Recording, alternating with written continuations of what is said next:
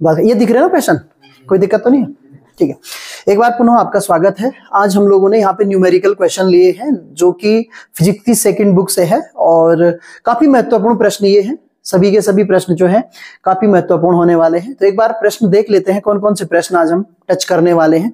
पहला प्रश्न है, एक सेल में ज़ीरो पॉइंट फाइव एम्पियर धारा लेने पर उसका विभवांतर 1.8 वी तथा 1.0 एम्पियर धारा लेने पर विभवांतर 1.6 वोल्ट हो जाता है सेल का आंतरिक प्रतिरोध तथा विद्युत भागबल ज्ञात कीजिए। दूसरा प्रश्न है, हाइड्रोजन परमाणु में electron 5.3 point three into ten to the power minus eleven metre त्रिज्या की कक्षा में 2.3 point three into ten to the power four metre per second की चाल से गति कर रहा है इलेक्ट्रॉन के घूर्णन का चुंबकीय आकूर्ण ज्ञात कीजिए। नेक्स्ट है 10 सेंटीमीटर त्रिज्या तथा 50 फेरों वाली एक वृत्ताकार कुंडली अपने ऊर्ध्वाधर व्यास के परितः 20 मिली टेस्ला ये क्या चीज़ है? मिली टेस्ला के समचुंबकीय क्षेत्र में 50 रेडियन प्रति सेकंड की चाल से घूम रही है। तो ज्ञात कीजिए तीन चीज़ें पूछी गई हैं यहाँ पे। ठीक है? तीन नंबर का प्रश्न होगा एक एक नंबर आपको चुंबकीय फ्लक्स का अधिकतम मान प्रेरित विद्युत भाग बल का शिखर मान ये शिखार हो गया शिखर मान है क्या है? शिखर मान इसको करेक्शन कर लेंगे। और प्रेरित विद्युत भाग बल का वर्ग माध्य मूल मान। क्लियर है? नेक्स्ट प्रश्न है, एक प्रेरक में प्रवाहित धारा I equals to two plus five T द्वारा व्यक्त की जाती है, जहाँ I एम्पियर तथा T सेकंड में है।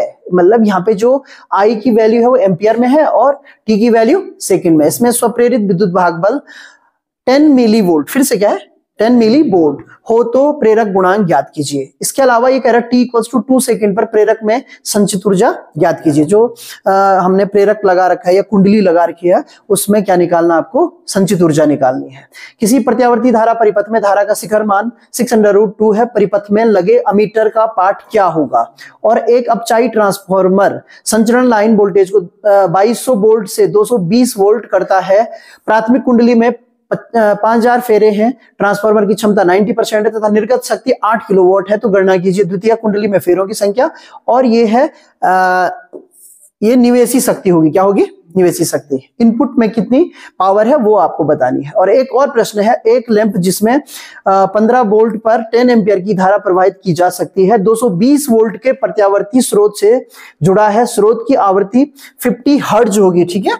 है लैंप को जलाने के लिए किस प्रेरक तत्व की चौक कुंडली लगानी होगी? तो हम सीधे आ जाते हैं पहले प्रश्न पे और अब हम बिल्कुल भी टाइम इसमें अपना नहीं गवाएँगे और सीधे सॉल्व करेंगे। पहला प्रश्न क्या है हमारा? एक सेल में 0.5 एम्पियर धारा लेने पर उसका विभवांतर 1.8 और 1.0 एम्पियर धारा लेने पर विभवांतर 1.6 वोल्ट हो जाता है। आंतरिक प्रतिरोध और विद्युत भागबल आपको क्या करना है? ज्ञात करना है। तो आए फ्री स्पेस में आते हैं, ये वाला स्पेस यूज़ कर लेते हैं। क्वेश्चन याद हो गया?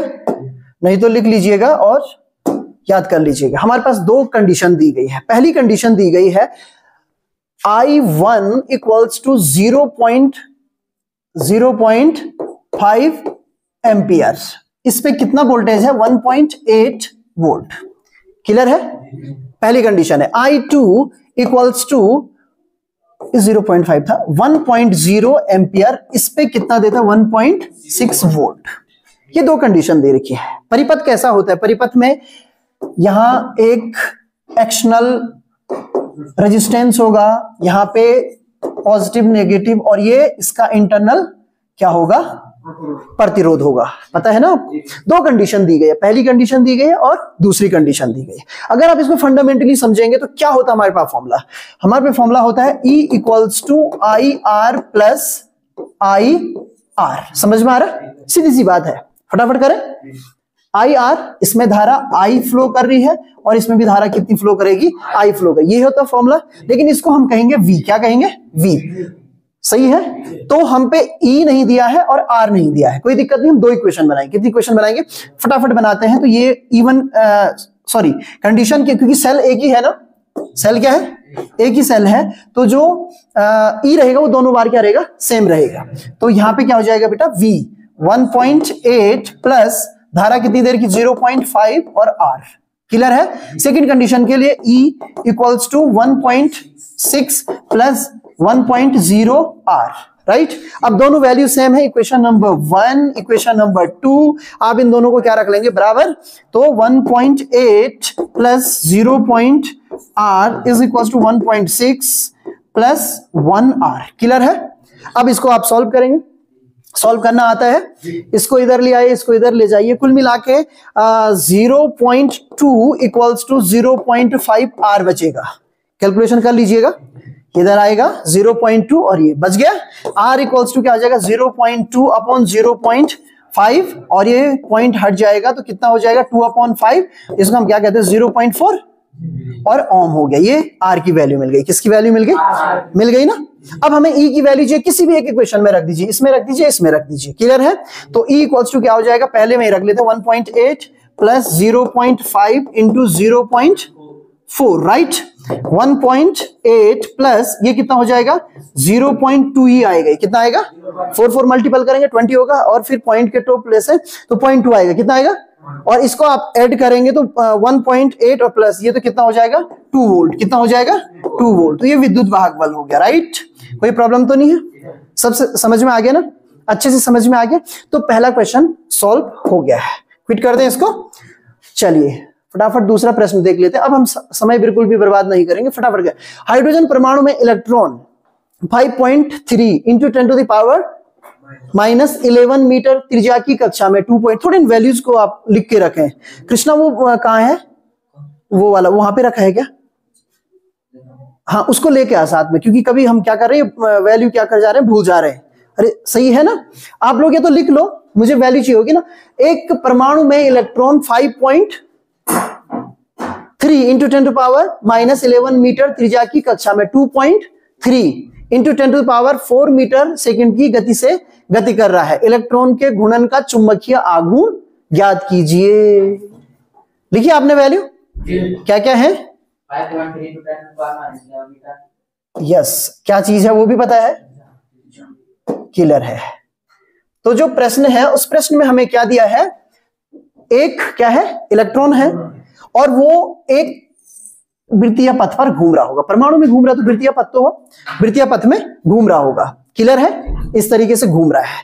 इसकी त्रिज्या कितनी होगी बेटा? आर होगी। क्या होगी? आर आर दिया है। आर कितना दिया है? Five point three into ten to the power minus eleven metre clear है? एक तो ये दिया है इसकी चाल दे रखी है जब इलेक्ट्रॉन घूम रहा है तो उस टाइम पे उसकी चाल दे रखी है v equals to three point two into ten to the power four metre per second यही दे रखी है? टू पॉइंट थ्री ठीक उल्टा हो गया यही मैंने कहा था याद रखना है ना? हाँ टू पॉइंट थ्री तो इसको मिटा देते हैं और यहाँ पे हम लोग लिखते हैं टू पॉइंट थ्री कितना लिखते हैं? टू पॉइंट थ्री अब आप, इसके बाद आप बताएँगे। क्लियर है। केवल ये दो चीज़ें ही हमें चाहिए। सही है ना? तो ये गिवन है। हमें निकालना क्या है? हमें चाहिए एम क्या चाहिए? एम एम मीन्स चुंबकीय आघूर्ण। है कोई फॉर्मूला आपको याद? फटाफट बताएँ। अगर याद है तो अच्छा है। मैं कॉन्सेप्ट के साथ बता रहा हूँ। किसके साथ? कॉन्सेप्ट जब ये घूमता है तो करंट जनरेट करता है। क्या करता है? करंट करंट की वैल्यू क्या होती है? देखिए I is equals to E upon T समझ में आ रहा? ये अलग सा है आपके लिए। अगर ये आता है आपके पास तो जब ये घूमेगा तो घूमते वक्त ये क्या करता है? करंट जनरेट करता है, जिसके लिए ई अपॉन टी हो गया। क्लियर है? अब टी की वैल्यू क्या होती है? I equals to E upon two pi R upon v. V means speed जब इसको आप सॉल्व करेंगे तो i is equal to E V upon two pi क्या हो जाएगा? R. अब देखिए m इज़ इक्वल टू होता है आई ए क्या होता है? आई ए आई की वैल्यू क्या है? E V upon two pi R into A की वैल्यू पाई आर स्क्वायर एक आर से एक आर कैंसिल पाई से pi cancel E V R upon two so this is the value of M अगर आपको सीधे ये वैल्यू याद है तो इसी को आप क्या करेंगे? यूज़ करेंगे. क्लियर है? कोई दिक्कत तो नहीं है? आगे समझ में? फंडामेंटली भी बताया। अब आपको सारी चीज़ें गिवन है। एम इज़ इक्वल्स टू क्या हो जाएगा? ई e का value 1.6 point six into ten to the power minus nineteen into V का वैल्यू दिया है 2.3 point three into ten to the power four into five point three into ten to the power minus eleven clear है? अब मैं आगे solve नहीं करूँगा। Solve आप खुद कर लें। ये मल्टीपल बहुत इजी है। इसका इसका इसका मल्टीपल करना है। टेन टू दी पावर देख लीजिएगा ये माइनस और ये भी माइनस तो माइनस थर्टी हो गया ये फोर हो गया। माइनस का 26 हो जाएगा और इसका आप मल्टीपल कर लेंगे। क्लियर है? जो भी आएगा लास्ट में मात्रक ज़रूर लिख लेना एम्पियर मीटर स्क्वायर क्या लिख लेना? एम्पियर मीटर स्क्वायर यहाँ पे आपका आंसर होगा और ये एम्पियर मीटर स्क्वायर अभी समय कम है हम समय बचाने के लिए यहाँ पे सॉल्व नहीं करेंगे। आपको केवल इसको सॉल्व करना है। बाकी जो कॉन्सेप्ट था वो मैंने आपको बता लिया है। कोई दिक्कत तो नहीं है? चलिए आगे बढ़ते हैं। ये अपने पास रखो बेटा इस साइड मत रखो। वैसे याद हो जाता है फिर भी। 10 सेंटीमीटर त्रिज्या तथा 50 फेरों वाली एक वृत्ताकार कुंडली अपने ऊर्ध्वाधर व्यास के परितः 20 मिली टेस्ला के समचुंबकीय क्षेत्र में 50 रेडियन प्रति सेकंड की चाल से घूम रही हो तो आपको फ्लक्स ज्ञात करना है। क्या करना है? फ्लक्स। ये प्रत्यावर्ती धारा का जो स्टार्टिंग हम लोग पढ़ते हैं ना क्या पढ़ते हैं? हाँ उससे रिलेटेड है ये। क्लियर है? सबसे पहले क्या क्या दिया है आपके पास? आपके पास क्या दिए कुंडली दी गई क्या दी गई? कुंडली। कुंडली में फेरों की संख्या दी गई है। क्या दी गई है? एन इक्वल्स टू फिफ्टी दी गई है। बिल्कुल सही है। इसके अलावा और क्या दिया गया है? उसकी त्रिज्या भी दी गई है। R equals to ten centimetre दिया गया। क्या दिया गया सेंटीमीटर मात्रक ज़रूर लिखने, मात्रक बिल्कुल भी नहीं भूलना है। क्लियर है? इसके अलावा स्पीड या ओमेगा की वैल्यू दी गई है।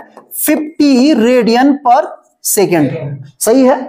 और एक बी भी आपके पास दिया गया है 20 मिली टेस्ला। क्लियर है?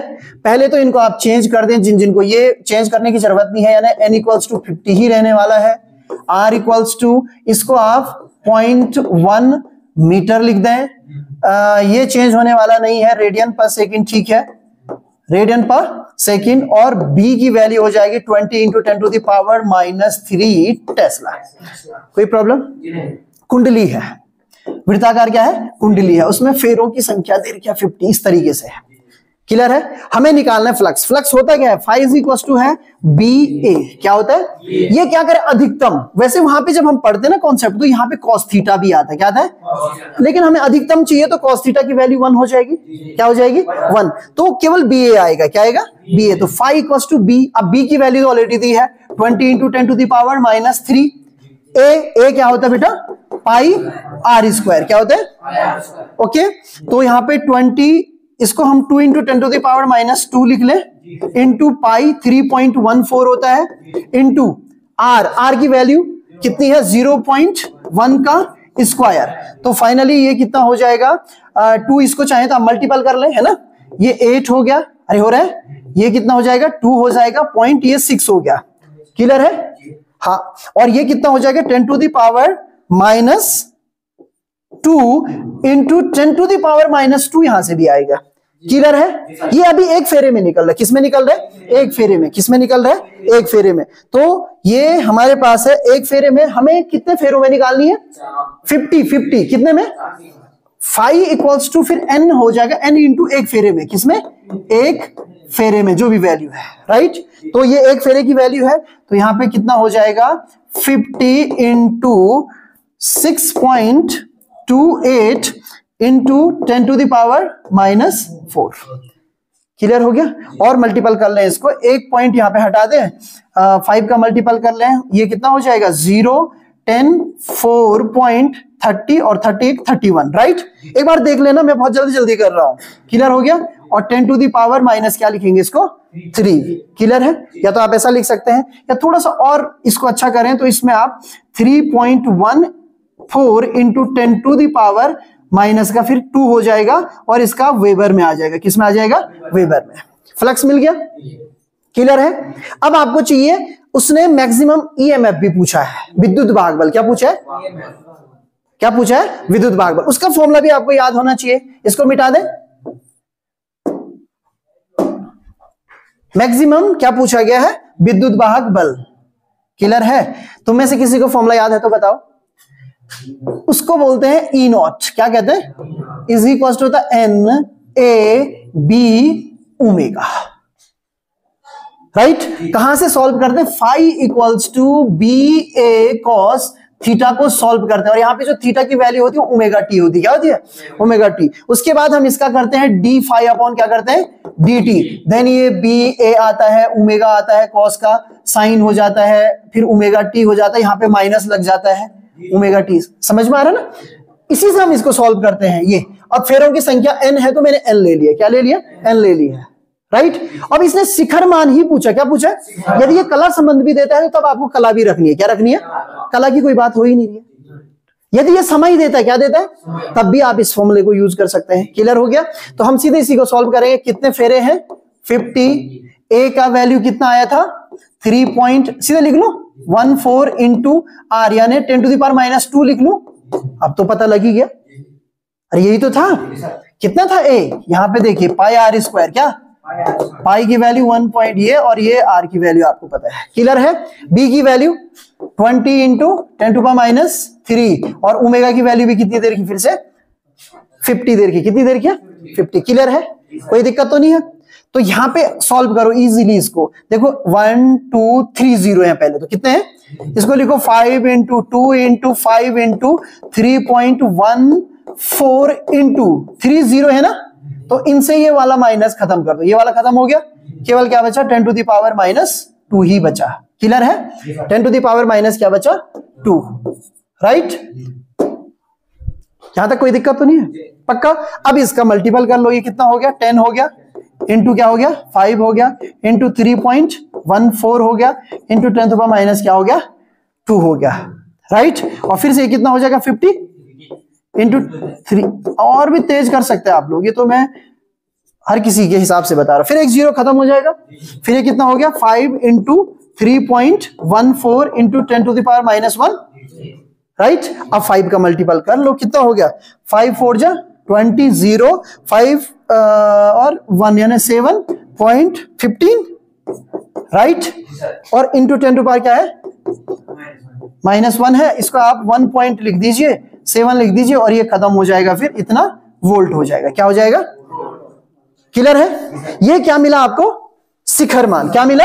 शिखर, इसको बोलते ई नॉट शिखर मान। क्या है? शिखर मान। अब उसने क्या पूछा? वर्ग मूल माध्यमान भी पूछा है। वर्ग माध्यम मूल मान भी पूछा है। क्या पूछा है? अरे पूछा है। कैसे? तो ये एक रिलेशन और है। E R M S is equal to E naught upon क्या हो जाएगा? अंडर रूट टू हो गया? तो कुल मिला के जो वैल्यू आ रखी है ना उस वैल्यू को आप zero point seven zero into कितना है वन पॉइंट फाइव सेवन इतने से मल्टीपल कर दीजिए ये आरएमएस वैल्यू आ जाएगी। समझ में आया? इसको बदलते ना हम लोग? अंडर रूट टू है। अंडर रूट टू को जब हम क्या करेंगे? डिवाइड करेंगे तो ज़ीरो पॉइंट क्या आता है? सेवन आता है right seventy percent of the जो आपके पास क्या है? शिखर वैल्यू है राइट ना? उसका हो जाएगा। क्लियर है?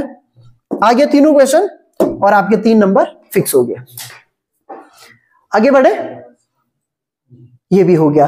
ये तीन वैल्यूज़ थी, तीनों की तीनों मैंने बता दी है। अब नेक्स्ट है, एक प्रेरक में प्रवाहित धारा I equals to two T plus five T द्वारा व्यक्त की जाती है जहाँ आई एम्पियर में ये स्वप्रेरित विद्युत भाग बल टेन मिली बोल्ट हो तो प्रेरक गुणांक हमें एल निकालना है। क्या निकालना है? एल जी एल है कोई आइडिया बताएँ। कोई आइडिया है इस क्वेश्चन को करने का? सबसे पहले क्या गिवन क्या है? क्या दिया है हमको? क्या दिया है? करंट का मान दिया है। और क्या दिया है? इक्वेशन में दिया है। किसमें दिया है? इक्वेशन में। देखो दिया है I equals to two plus five T दिया है? सारी वैल्यूज़ जो है किसमें दी गई है? एम्पियर और सेकेंड में। पहले तो ये दे दिया। इसके अलावा एक और वैल्यू दी गई है। किस चीज़ की वैल्यू दी गई है? ई भी दिया गया है टेन मिली वोल्ट पता होना चाहिए ना? Right right? जब आई हमारे पास आ गया तो एक रिलेशन आपके दिमाग में आना चाहिए कि आई और एल का रिलेशन है ये वाला। ये पहले ही दिमाग में आना चाहिए। आप बोर्ड परीक्षा में बैठने वाले हो आपको सारी चीज़ें पता होनी चाहिए। ई e की बात हो रही है आई की बात हो रही है एल निकालना है। ये क्वेश्चन मार्क हो गया ना?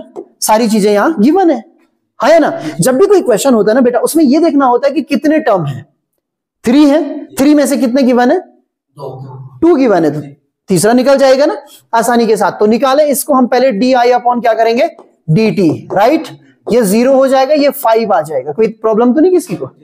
पक्का? तो D I upon D T rate of change of current is five कितना हो गया? फाइव राइट रखो, बहुत छोटा प्रश्न है ये। तो ten into ten to the power minus three लगातार बता रहा हूँ, मिली आ रहा है। वोल्ट में चेंज कर दो इसको। माइनस एल वैसे यहाँ पे माइनस लेने की आवश्यकता नहीं है। नेगेटिव केवल यही कहता है कि उसका क्या करता है? विरोध करता है, जो लेंज का नियम हमें बताता है। क्लियर है? डी आई इंटू कितना हो गया? फाइव एल इक्वल्स टू क्या हो जाएगा? Two into ten to the power minus three right और यहाँ पे क्या हो जाएगा? हेनरी क्या हो जाएगा? हेनरी राइट और इसे भी बना सकते हैं। कोई दिक्कत तो नहीं है? एल की वैल्यू आपको मिले और कुछ निकालना है इसमें? यस ये तो पहला पार्ट है, ये क्या है? पहला पार्ट। एल मिल चुका है। इसी को प्रेरक गुणांक कह रहे क्या कह रहे प्रेरक गुणांक। हमें वैल्यू चाहिए संचित ऊर्जा की। किसकी? वैसे आप लोग कह रहे कि अभी सिलेबस से हट चुका है ये। अगर होगा भी तो कोई दिक्कत नहीं है। संचित ऊर्जा का जो फॉर्मूला होता है, मैं साइड में लिखू पहले। U इक्वल्स टू होता है हाफ़ एल आई स्क्वायर क्या होता है? हाफ़ एल आई स्क्वायर तो देखिए हाफ़ हमारे पे सारी वैल्यूज़ है ना? हाफ़ भी है एल की value two into ten to minus three है। और आई की वैल्यू ये वाली रखेंगे। टू प्लस फाइव इंटू कितने सेकंड में क्या रखा है? टू सेकेंड में। क्वेश्चन को अच्छे से पढ़ लेना। एक बार मैंने सारे क्वेश्चन बता दिए थे तो उसी तरीके से इसको पढ़ लेना। क्लियर हो गया? तो टू देर की, कितनी देर की है? इस टू से ये टू कैंसिल हो गया। Ten to power minus three बच रहा है इन टू ध्यान से देखो, है? ये कितना हो गया? ट्वेल्व अरे टेन हो गया प्लस टू तो ट्वेल्व आ गया ना? आ गया? ट्वेल्व तो यही है आपके पास वैल्यू है। आ, इसको हम लिख देंगे one point two into ten to the power minus two और क्या चीज़ है ये? ऊर्जा। तो इतनी क्या हो जाएगी? जूल। सही है ना? पक्का? तो इजी है क्वेश्चन बल्कि न्यूमेरिकल क्वेश्चन बहुत बढ़िया होते हैं। इसमें हमारा बहुत ज़्यादा समय बच जाता है अगर अच्छे से आप आते हैं। सुमित और कृष्णा बहुत हंस रहे हैं। मज़ा आ रहा है? किसी प्रत्यावर्ती धारा परिपथ में धारा का शिखर मान सिक्स अंडर रूट टू है, परिपथ में लगे अमीटर का पार्ट क्या बताएगा? तो जो अमीटर का पार्ट होता है, उसके लिए आपको कुछ नहीं आरएमएस वैल्यू फाइंड करनी क्या करनी है? राइट? right? आपके पास क्या दिया है? शिखर मान दिया है। कितना दिया है? Six under root two. ये गिवन है। एक नंबर का क्वेश्चन है। कितने नंबर का? एक नंबर का। आई आर एम एस इसको आई नॉट बोलते हैं। इज़ इक्वल टू होता है I naught upon under root two अगर समझ में नहीं आया इसी को हम zero point seven zero I naught बोलते हैं। है ना? ये इस वाले को वहाँ पे यूज़ करो जहाँ पे ये अंडर रूट में नहीं है जहाँ पे टू को आपको काटने में समस्या हो रही है। सही है ना? यहाँ पे तो बढ़िया है अंडर रूट टू में ही दे दिया। तो आप इसको यूज़ नहीं करेंगे। ये आपकी इच्छा है जैसे वहाँ पे हमें सॉल्व करने में दिक्कत होती है सीधे वैल्यू याद रख लो। कितना? सेवन ज़ीरो सेवन से मल्टीपल करना कुल मिला के। कोई समस्या तो नहीं है? तो यहाँ पे तो six root two upon root two और ये कैंसिल और सिक्स एम्पियर ये होगा अमीटर का पार्ट क्लियर है? आगे बढ़ते हैं। नेक्स्ट है एक अपचा ये बहुत बार पूछा जाता है, बहुत इजी प्रश्न है है ना? जब भी बोर्ड पेपर के जो पेपर बनाए जाते हैं ना, वो बहुत सारी चीज़ें उसमें ध्यान रखिए एवरेज छात्रों के लिए भी बनता है। जो लोग बहुत अच्छी पढ़ाई करते हैं, उनके लिए भी बनता है। तो हमेशा होता यह है कि जो 50 से 60 परसेंट पेपर होता है, वो एवरेज बच्चों के लिए बनता है। राइट ना? और थोड़ा सा उसके ऊपर का कभी कभी वो भी इजी रहता है। कभी कभी थोड़ा उसमें चेक कर लेते हैं कि भाई आपका जो माइंड सेट है, वो किस तरीके का है। थोड़ा बहुत अगर फिजिक्स में घुमा फिरा दिया जाए तो क्या आप कर पाते हैं नहीं कर पाते हैं? तो वो तमाम चीज़ें रहती है। ये बहुत इजी प्रश्न है। एक अपचाई। अपचाई आपको पता है? स्टेप डाउन जो कि उच्च वोल्टेज को किसमें बदलता है? निम्न वोल्टेज में बदलता है। को 2200 वोल्ट से 220 वोल्ट पे ले आया।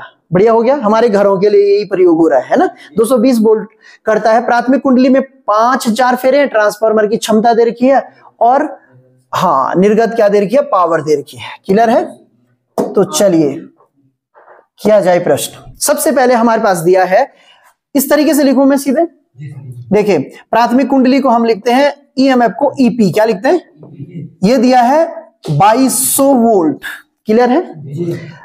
E S that mean secondary कुंडली में हमको कितना करना है उसको? इतना वोल्ट।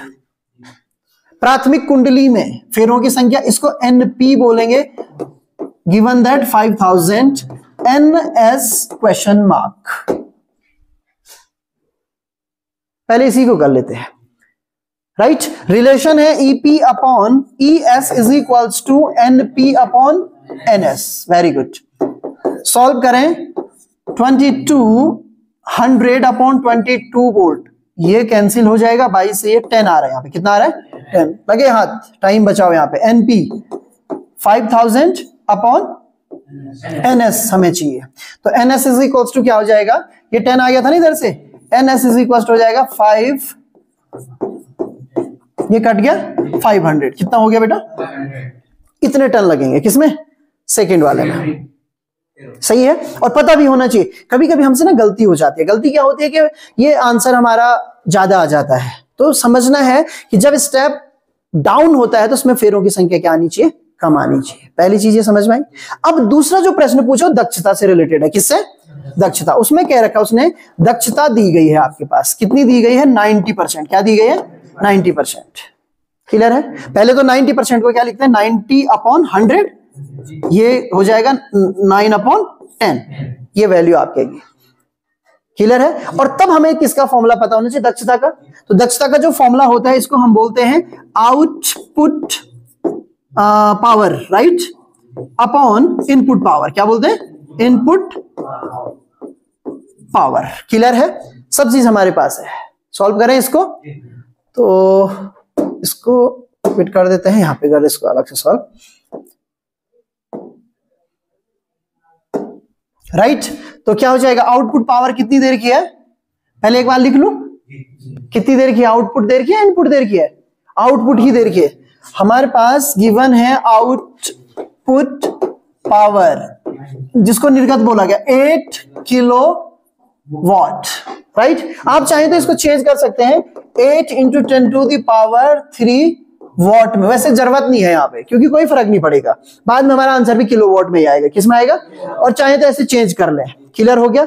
फॉर्मूला हमारे पास था, दक्षता is equals to output power output power के लिए हम क्या लिखेंगे? पी एस लिख लें. सेकेंडरी और P N means primary PP आ गया, है ना? ये सेकेंडरी में है, यानी कि द्वितीयक में है और ये किसमें? प्राथमिक में है प्राइमरी कॉइल बोलते हैं। तो इसमें कितना है? एट किलो वॉट ही रख रहा हूँ मैं, है? और यहाँ पे इसकी वैल्यू हमें चाहिए इज़ इक्वल टू ये नाइन अपॉन टेन आ रहा है?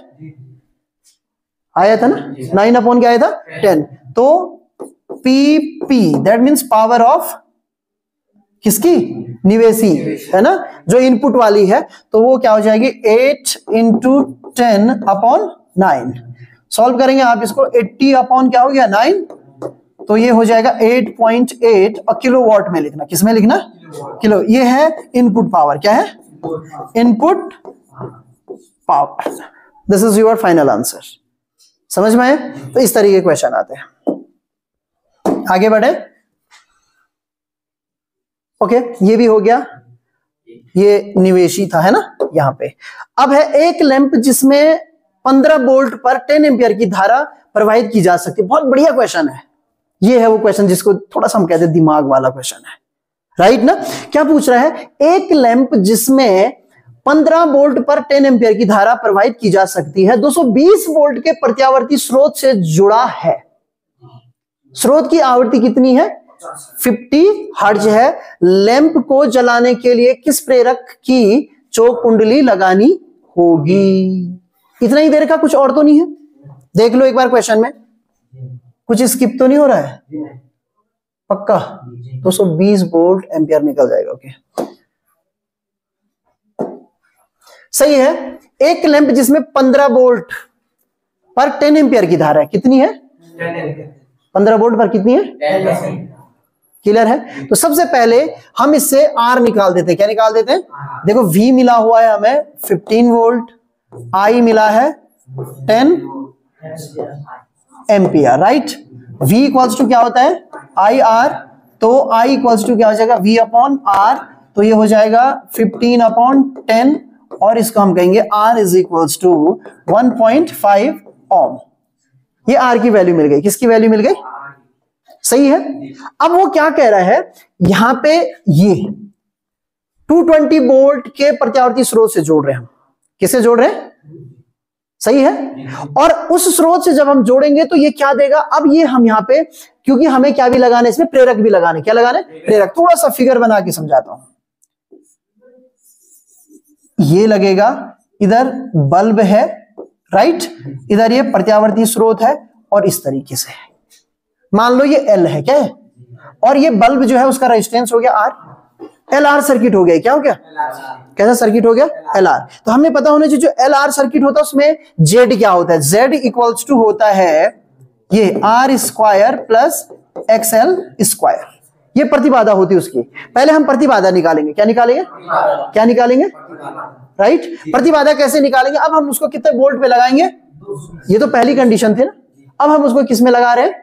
220 वोल्ट प्रत्यावर्ती स्रोत पे तो अब लगा रहे हैं ना। क्लियर है? तो यहाँ हम धारा निकालेंगे या वो जेड का मान निकालेंगे। क्या निकालेंगे?